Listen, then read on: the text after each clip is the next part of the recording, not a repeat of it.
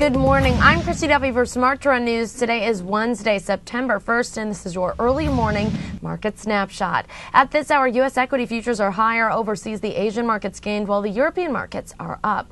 AkzoNobel announced that it has been selected by Walmart to be the primary paint supplier for the retailer's U.S. stores. Glimcher Realty Trust entered into an agreement along with an affiliate of Blackstone Real Estate Advisors to purchase Pearlridge Center in Honolulu for $245 million. PerkinElmer announced that it agreed to sell its illumination and detection solutions business to Veritas Capital Fund three for approximately $500 million in cash or $482 million net of payment for acquired cash balances. And Unisys announced that it has sold Unisys Insurance Services Limited to Diligenta Limited, a subsidiary of Tata Consultancy Services Limited.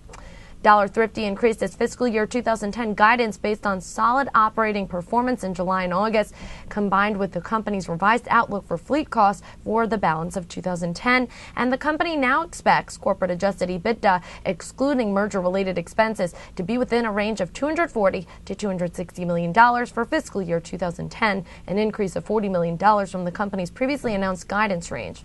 I'm Christy Duffy for Smart Trend News. Those are your major headlines this morning. For more news and market analysis, make sure to subscribe to our YouTube channel, Trade the Trend. Also visit our website, tradethetrend.com, for more.